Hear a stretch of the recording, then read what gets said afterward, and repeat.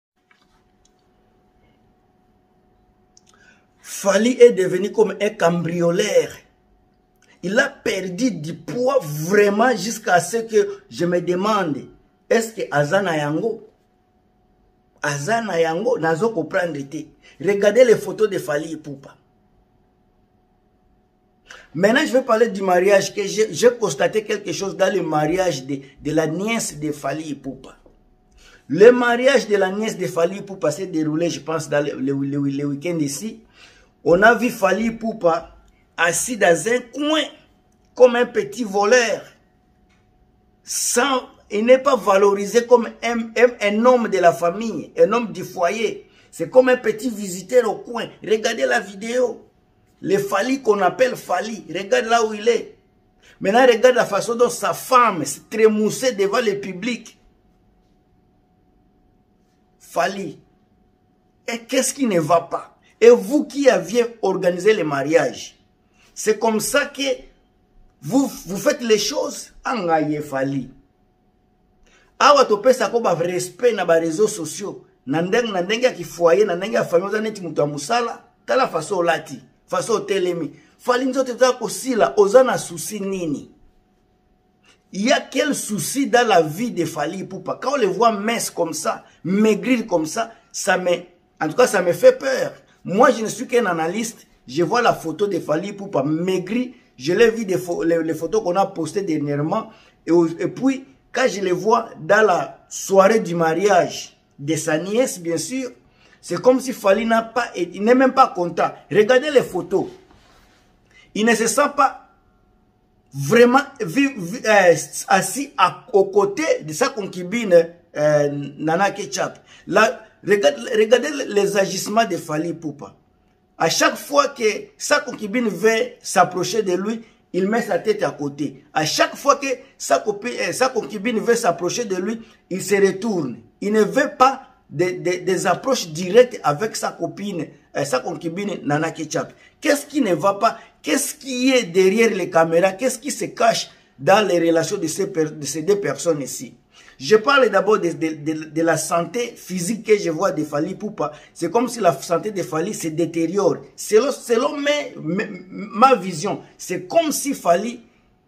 il, il est malade. C'est comme s'il n'est pas dans son assiette. Soit il est dans des soucis, dans des stress. Je ne sais pas. À vous qui avez la même vision que moi, vous pouvez eh, me faire ba, ba, comme ça on comprendre que nini ndeza koleka na vie fallu, puisque la façon dont il se comporte la façon dont on le voit aza Moutoumoko, il a tellement maigri Kondi makasi Pourquoi pourquoi pourquoi la question et puis la deuxième chose que j'ai renumère dans la vidéo ici c'est son comportement dans le mariage de sa nièce ce n'est même pas un mariage c'est présentation de la dot de la d'une de de demi-sœur de Fali Poupa. Sa demi-sœur s'appelle Tina Ipupa qui a, a réussi ce genre, je pense, comment on l'appelle en français comme ça, abake ah kobala ke kobala me mwana yango mpe baza kotutela tolo aza mpe ya vierge te aza mwasi oyo um, donc statistique déjà elakisi na poto na, na europe elakisi déjà ke 95 euh, pourcent ya basi oyo baza kobala na poto bango nyonso babima ba, ba deja na plus de 5 5 mibali ce n'est pas kaka ye nalobi a général na poto basi baza kobala lelo na poto généralement baza na plus de 5 garçon bale babima na bango sika oyo eza mariage ya kobangisa mpe motu te parce que déjà ye mpe aza considéré comme abima na bato ebele avant bakende kosala ba mariage ya bo eza mariage nango kaka ya kosaleka bozomona deja ke aza mwasi deja baleka deja batambola tambola ava baya na miso ya bato boye batambola na bango deja eloko ya makasi mpe wana eza te ya kobangisa mpe bato eza te mariage ya danger ya kilo eza mariage oyo tokomona uh, ya, ya, ba, ya bakeina epupa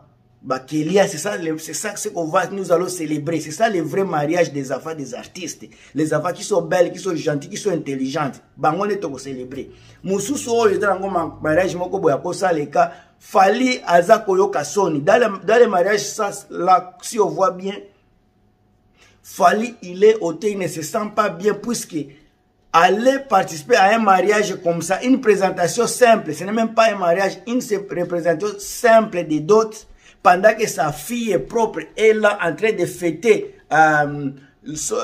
euh, bac, c'est inconcevable. Je sais que Fali n'est pas dans son bain, il est, mm, il est mal à l'aise, il ne veut pas même, il ne veut même pas se présenter devant les caméras puisque c'est déjà honte. tout le monde voit que Sa fille est en train de célébrer le bac, mais lui, il est en train de célébrer une, un mariage qui n'est même pas mariage. Mariage à pam pam, oh, yanini, ce qui y a ba dot. Dot, mariage à solo, zalaka, moi, c'est à la voile, bokozo kende. Et puis, ce qui fait bozo mona kiza mariage à solo, maman passe, hein.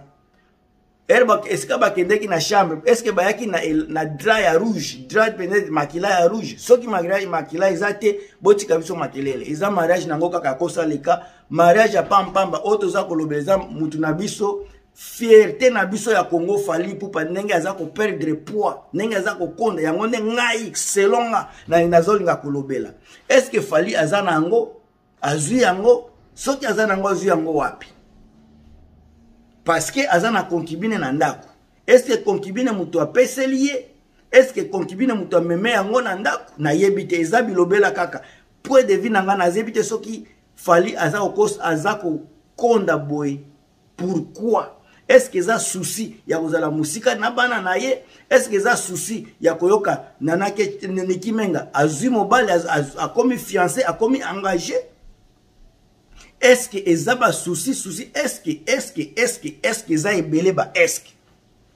ba eske wana eza ebele epuis concubine na ye malheureusement aza mwasi oyo ayebi na ye makambo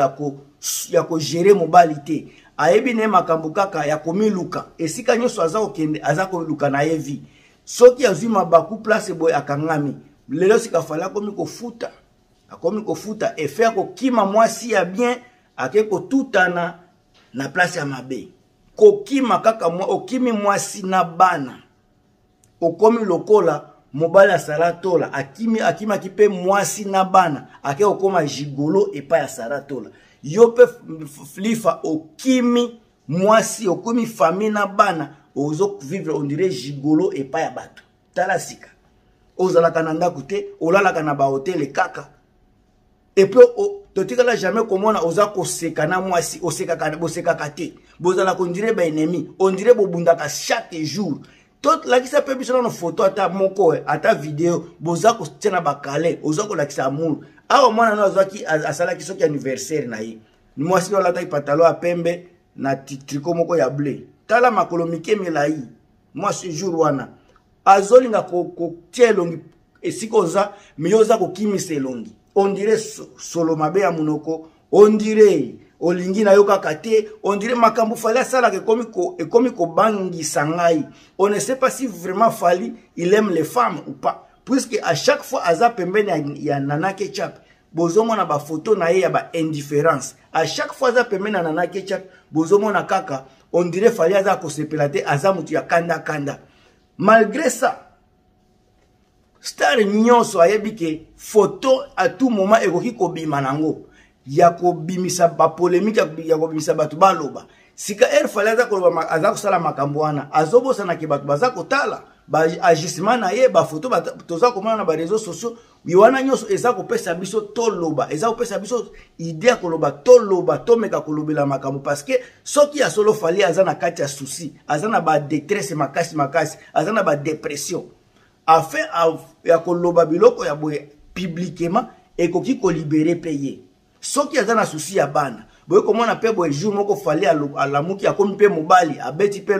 loboko na mesa akei kodefendre famille na ye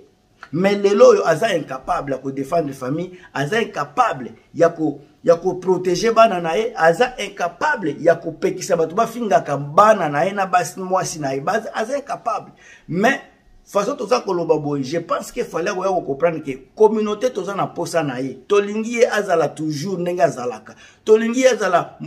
fali oyo toyebaki na ba 2010 ba 2008 fali ya solo wana nde fali ya solo lelo tokomi na fali ya lokuta fali ya original akenda soki wapi tozoyeba te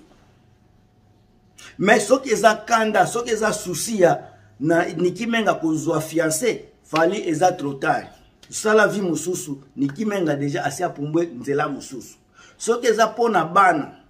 oza na choix oza na choix oza na choix bana baza bana na yo eloko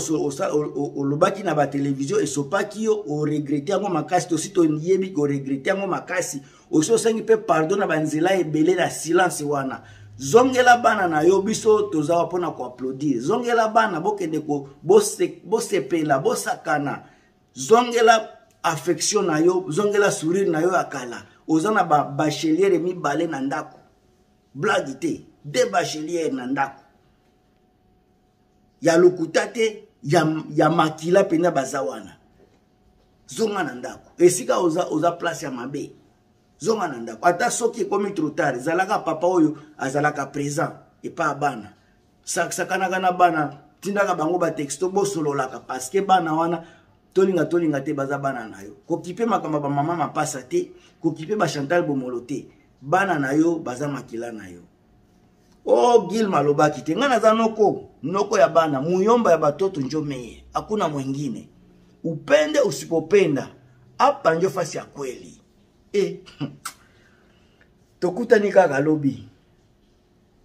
click clack bye